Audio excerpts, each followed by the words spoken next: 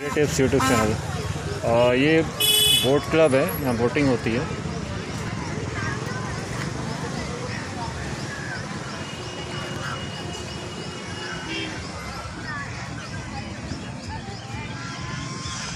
ये ट्रेन खड़ी है आगे।